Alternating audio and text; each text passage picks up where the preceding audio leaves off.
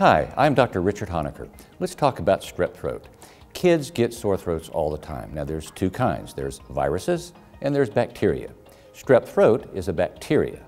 And there's a big difference. One needs antibiotics, that's strep throat, the bacteria. Viruses, they don't need antibiotics. They just sort of run their own course. How can you tell the difference? Well, a virus lives in the throat, the nose, and the lungs. So you're going to get a sore throat, you're going to get a runny nose, and you're going to get a cough. The strep germ, which is a bacteria, that lives only in the throat, not in the nose, not in the lungs. So you're not going to get a runny nose, you're not going to get uh, a cough. So if your kid has a sore throat and a fever and has a runny nose and a cough, probably a virus, give them some fluids, give them some Tylenol, and give them some time.